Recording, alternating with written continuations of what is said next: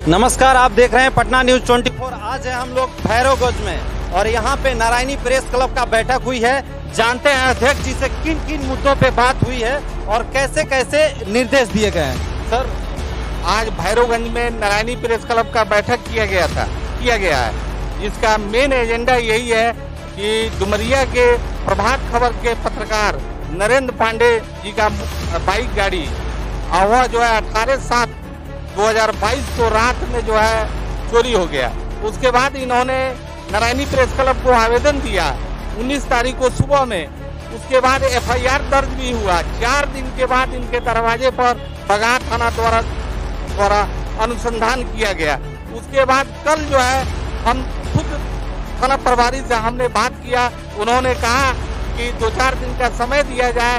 मैं देखता हूँ, अगर गाड़ी जो है कहाँ का चोर ले गया है कैसे ले गया है उसको हम पता करते हैं। उन्होंने अपनी बात कहा कि शहर में जो चोरी होती है, उसका नेटवर्किंग कुछ और होता है। रूरल एरिया में चोरी होती है, उसका नेटवर्किंग कुछ और होता है।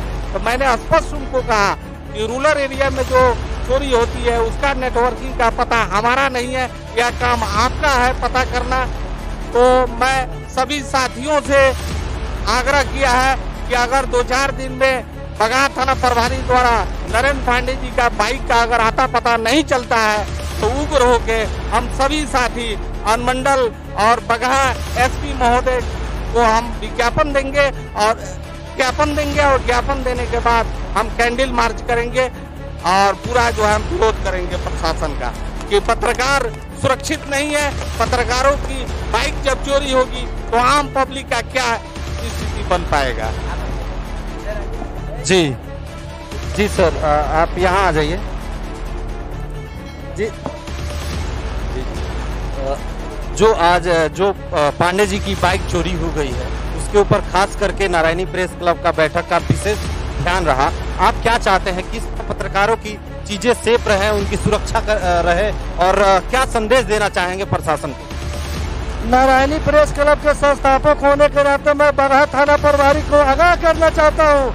कि 24 घंटे के अंदर अगर उनका मोटरसाइकिल बरामद नहीं हुआ तो हम लोग आंदोलन करेंगे, धरना करेंगे, प्रदर्शन करेंगे और कैंडल मार्चिंग ईट से हम लोग बजा देंगे। और उससे भी नहीं रहते एस और मंडल पदाधिकारी को हम लोग घेराव करेंगे।